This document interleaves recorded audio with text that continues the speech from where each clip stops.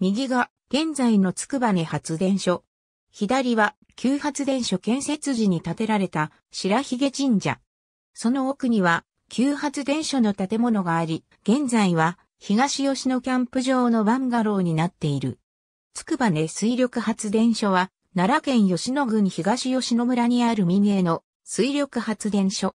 東吉野村では1914年から1963年までの約50年間、小水力発電、つくば根発電所が地元の家庭や製材業に売電していた。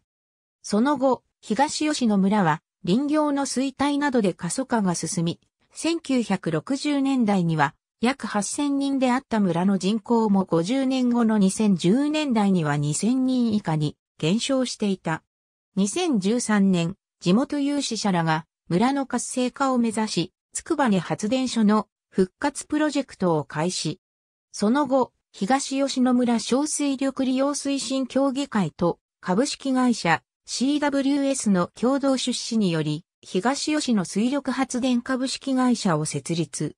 金融機関からの借り入れと市民ファンドにより資金を調達し、つくば根発電所を復活させた。